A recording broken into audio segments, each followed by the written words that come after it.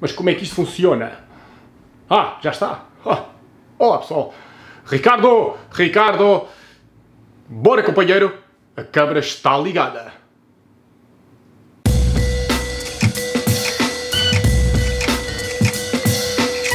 Olá pessoal, bem-vindos a mais um episódio da Zombie TV, uma overdose da cultura geek. O meu nome é Ricardo Trindade, sou nerd de serviço e hoje tenho aqui uma companhia muito especial. Olá, Woody. É verdade, viemos apresentar Código Secreto Disney edição familiar editado em Portugal pela Devir. E é um jogo especial, só pode ter uma companhia especial. É um jogo de 2 a 8 ou mais jogadores, com idades superiores a 8 anos e cada partida tem mais ou menos uma duração de 15 minutos. Dentro da caixa existem regras também para dois jogadores. É verdade, dentro da caixa tem regras para dois jogadores. E por falar em regras, vamos já ao tutorial e já voltamos com as nossas considerações finais. Pessoal, temos aqui um setup para uh, quatro jogadores, dois para cada equipa, dois da equipa azul, dois da equipa vermelha.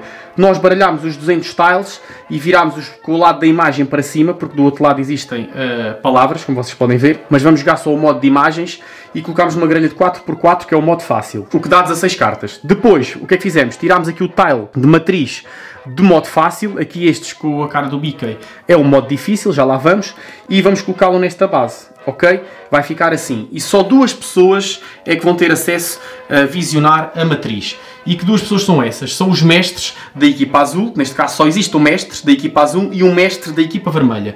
Eles têm a oportunidade de olhar para este tile, este mapa, por assim dizer, e perceber quais é que são as cartas de cada cor. Por exemplo, eu que sou da equipa azul sei que esta e esta e esta e mais estas duas são da minha equipa. A equipa vermelha tem aquelas ali no canto, depois tem ali o Pinóquio, depois tem esta e depois tem aquela ali, ok? Portanto, isto fica aqui em segredo e só os mestres de cada equipa é que têm acesso. Quem é que joga primeiro? Fácil. Aqui à volta deste tile está uma cor. Neste caso é a cor vermelha, o jogador vermelho, o mestre vermelho vai começar primeiro. Atenção que eu vou colocar assim a matriz para toda a gente ver o que está a passar, mas ela não fica assim visível. Este tile que aqui está é dado à equipa vermelha porque começa primeiro. Se fosse a equipa azul começasse primeiro, seria assim, ok? Portanto, eles começam primeiro e têm que dar pistas. E que pistas é que eles podem dar? Pronto, as pistas vai depender muito de, daquilo que é combinado no início do jogo. Por exemplo, nós podemos dizer no início do jogo que uma regra é não podemos dizer os nomes dos filmes e não podemos dizer mais de uma palavra. Ou seja, eu não posso dizer que o nome do filme é Pinóquio, porque o nome do filme chama-se mesmo Pinóquio, e não posso dizer boneco de madeira, porque já são mais do que uma palavra. E podemos dar uma palavra e podemos dar um número. Sempre uma palavra e um número. E essas regras têm que ser estabelecidas no início do jogo. Portanto, aqui a equipa vermelha poderia dizer madeira. Porquê? Porque tem aqui uma porta de madeira e o Pinóquio é feito de madeira. O mestre diria madeira 2. Ou seja, existem duas cartas relacionadas com madeira. O jogador da equipa vermelha iria arriscar e dizer madeira, eu acho que é esta porta, certo. O mestre iria tapar com o tile vermelho a porta. Portanto, já só faltava mais uma. E ele iria uh, dizer que era o Pinóquio. Certo. Eles acertaram esta fase, passa para outra equipa e é a vez da equipa azul da minha equipa dar pistas. E o que é que eu poderia aqui dizer que sou eu o mestre da equipa azul? Eu poderia aqui chegar e dizer Aladdin 2. Não, porque foi combinado no início do jogo que eu não podia dizer o nome dos filmes. Portanto, também não posso dizer Mil e Uma Noites, porque só posso ter uma palavra. Poderia dizer Arábia 2, mas eu vou arriscar. Portanto, o que é que eu poderia dizer? Eu poderia dizer Vermelho 2. E iria correr aqui um risco. Porquê? Vamos supor que eu digo Vermelho 2 e o meu colega diz vermelho 2, ok, é o Faísca. E eu, certo, muito bem, Faísca. E ele agora ficava na dúvida: será que é esta? Será que é esta? Será que é esta? Será que é esta? Ou será que até é esta? Porque são todas cartas de cor vermelha. E vamos supor que ele acertava. Diria: opá, vermelha é esta. Ok, passa a vez para os colegas do lado. Mas vamos supor que ele se enganava e dizia que era esta. Estaria errada, portanto, esta é da cor dos oponentes. Ficava tapado além de perdermos a vez, ajudávamos o nosso oponente que ficava com mais uma carta preenchida. Quando acertamos em cartas neutras, é fácil, perdemos a vez, passa para a equipa adversária e tapamos com os tiles neutros, ok? E é sucessivamente para trás e para a frente até que uma equipa fique com os tiles todos preenchidos.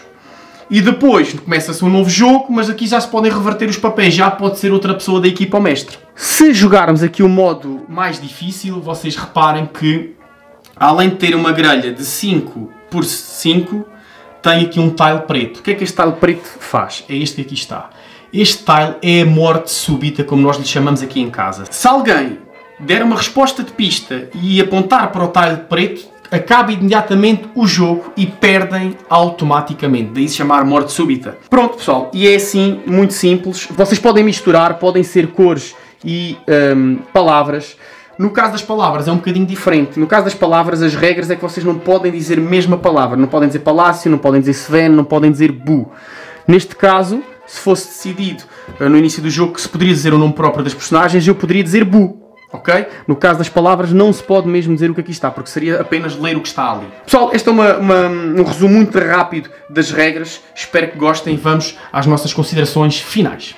Haha, companheiros, como puderam ver, é um jogo bastante fácil. É verdade, é um jogo bastante fácil, principalmente quem já jogou o Código Secreto. Mantém mais ou menos a mesma linha. Este tem a vantagem de ter o Código Secreto palavras e o Código Secreto imagens num só, mais a variante para dois jogadores e ainda tem uma variante mais difícil em que existe a chamada morte súbita. É um jogo que tem uma estética uh, ligada à Disney, os frames usados nas cartas são imagens Uh, retiradas dos filmes, o que eu acho bastante positivo. E eu acho que é um jogo para toda a família e obrigatório na coleção de qualquer uh, jogador, seja familiar, seja hardcore gamer, porque este jogo também serve para desanuviar um bocadinho. Portanto, fica a nossa recomendação, é um jogo para todas as idades e todo o tipo de jogadores. Quem gosta de Código Secreto tem que ter este na coleção, quem gosta de Disney tem que ter este na coleção. Ricardo, acho que tenho uma cobra nas botas.